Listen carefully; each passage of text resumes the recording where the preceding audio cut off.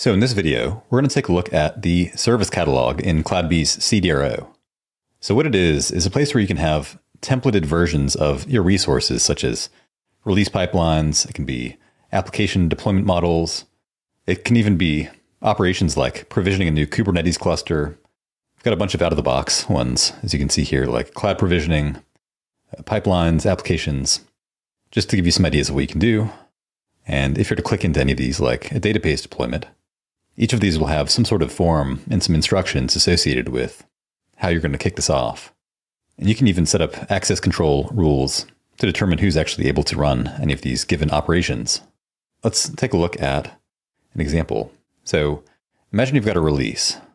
Well, someone's already gone through and done the work, and I want to create a new release based on this. Well, I could just go in here and copy the DSL and paste it into the DSL IDE or use ectool, and that would work. But let's be honest, that's not really ideal. And so what we do have, if we go back to the releases page, if I click new release, I can just copy existing and I can select that exact release that I just looked at. And then I can say, all right, let's put it in my own project and my new insurance release. Hit OK. And there we have it. I've got a new instance of that same release pipeline. However, there is one pretty big problem here, which is I'm going to have to go through and configure these things specific to my use case. So if I go to this Git repo here, and I go to the input parameters, you'll see that, hey, this is Chris, one of my coworkers, his Git repository. Well, that's not exactly what I want. I want it to be my repo. So I could change that.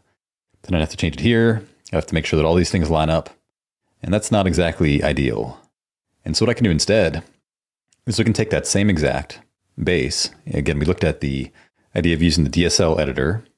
You actually have the ability to do a DSL export, and you can choose to suppress all of the nulls and all the defaults so you only see the differences. Then you can take that and bring it into the self-service catalog and create a new instance that has some templatized items. And we'll take a look at how to do that in a minute. But if I'm able to go to one of my catalogs here and I say create insurance release, well, instead of having to go through and find an existing release to base mine off of, I can say LD insurance release December. I could choose one of the templates and we'll go ahead and hit OK. And there we go. It is now complete. And so now I can hit this yes button to go to the new release. And here we go. It looks virtually the same, except the name is a little bit different. But if I click on this, I'm going to see that this is actually specific to my GitHub organization. Well, how has it done this? Well, Let's take a look at how we can create one of these. So to start with, we're going to go to the service catalog. And up at the top right, you'll see this new catalog button. So you go ahead and click that, create a new one.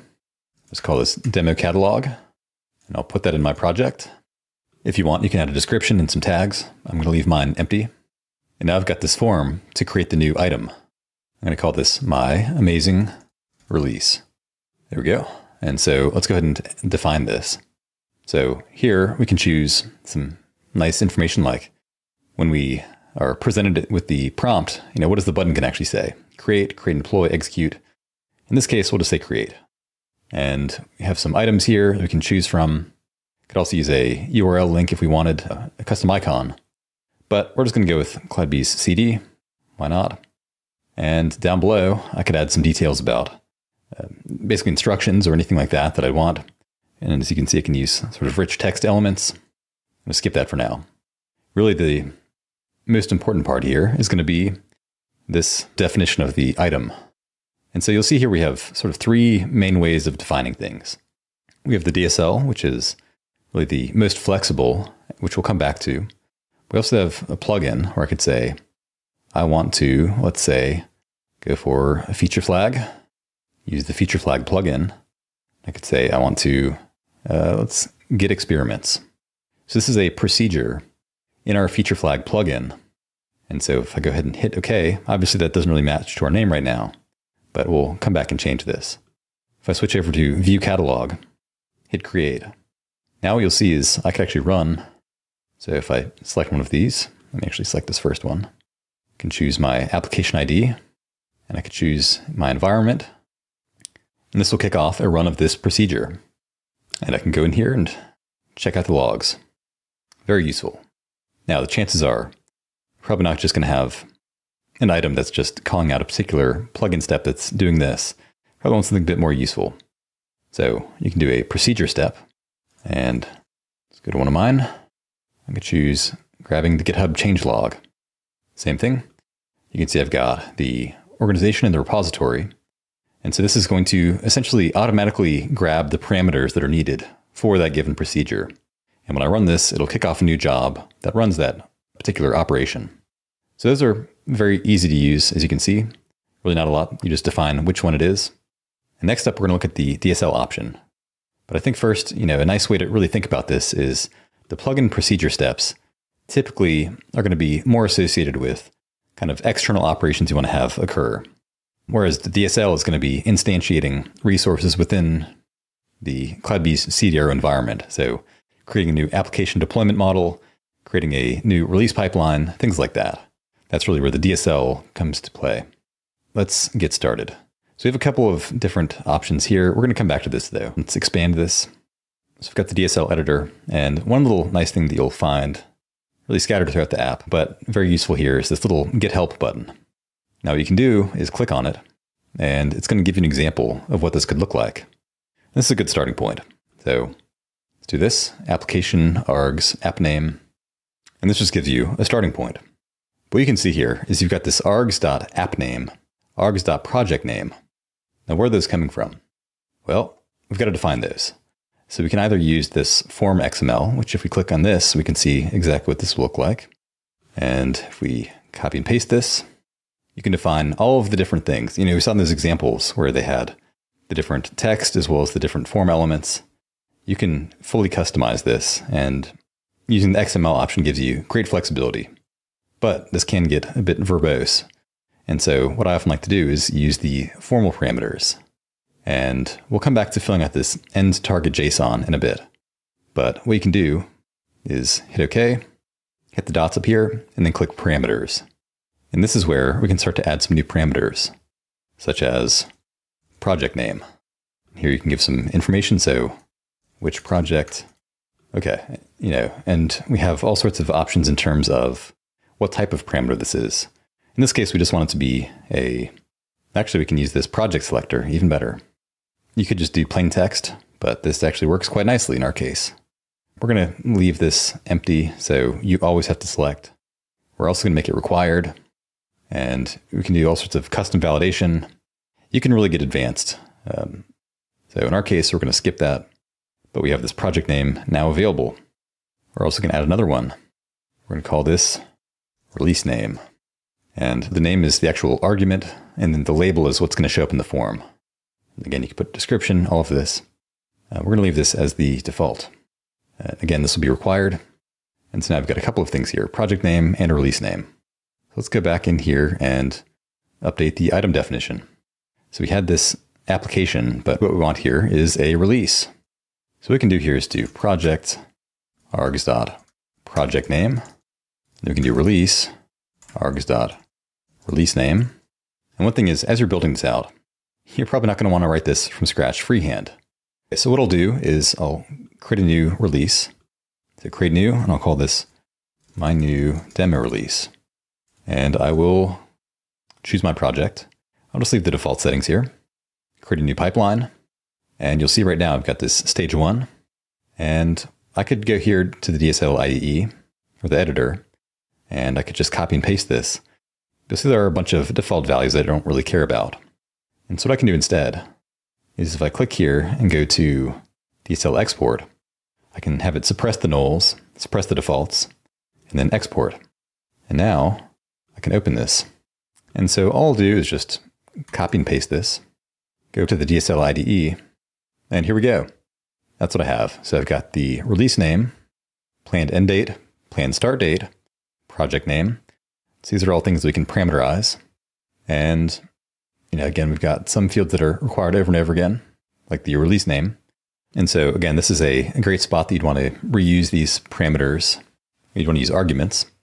And, but I could take this and say, you know what? I want this first stage to be called release readiness.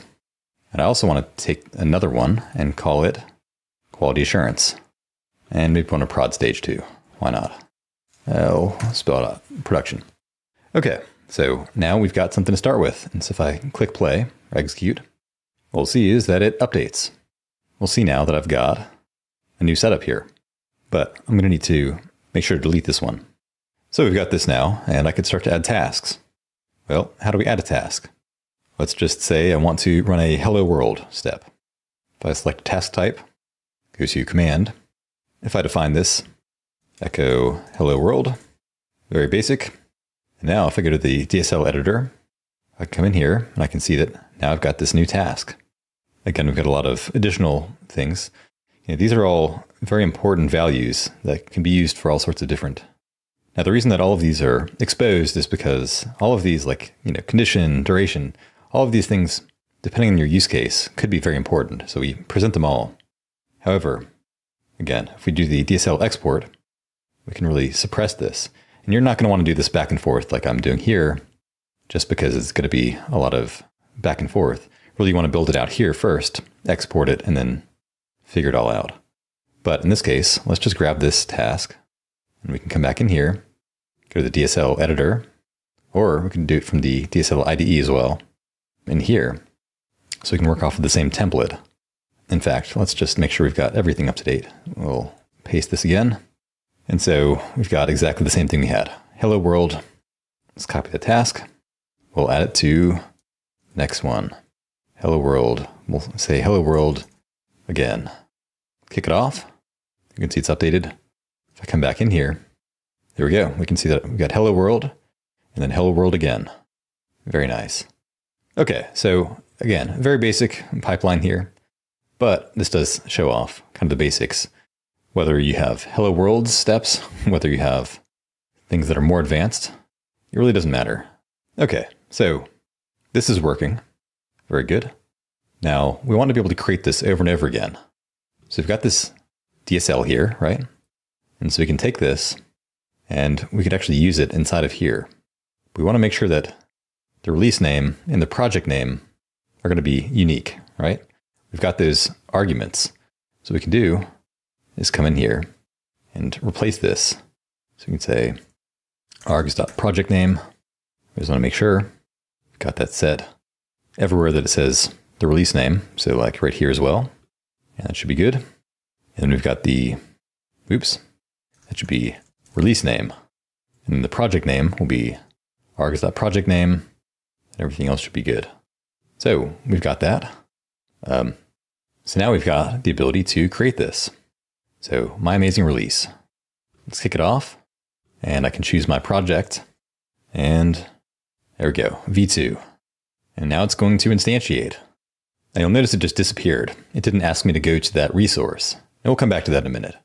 But if I go back to my releases now, there we go, my amazing new release, V2. There we go. It worked exactly as expected. There's a lot more we can do here. But let's go back and fix that last little piece there. So if we go back to the editor, item definition, this end target JSON is what we're going to want. So if we copy the example here, so the source parameter object is going to be an application. In this case, we want it to be a release. The object name is going to be, so we've got the parameter, we've got the release. Object name is going to be the release name. And the object project name is the project name.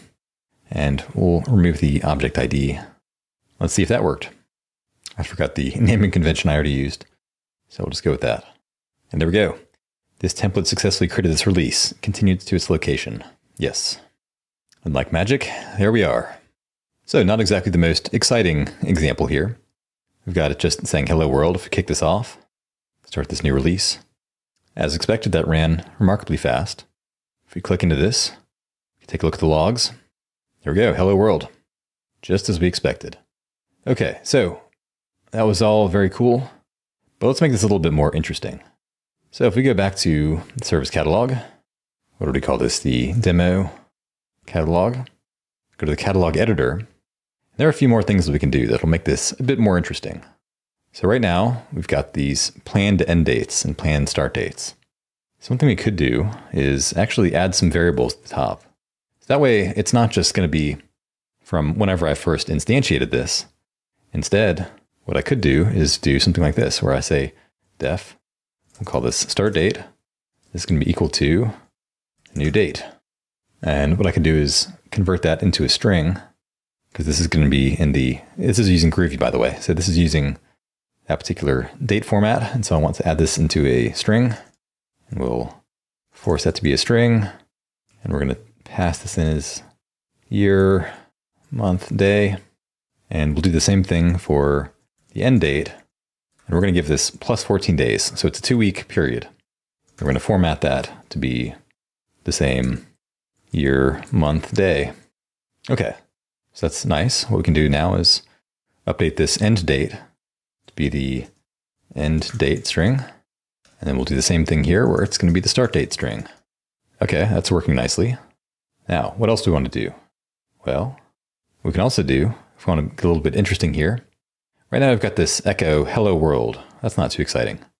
So what we can do is come up here, add, this is where it gets very useful. As you notice, back when I created that initial release, as you may have noticed, if we go back to that original release that we looked at, if I go to the sandbox, create insurance release, it doesn't actually ask me for the project name or anything like that. It's just interpreting based on the current context. So who I am, what kind of properties exist on my user account, and information like that. So what we can also do here is something similar where we're going to say the current user is going to be equal to get property.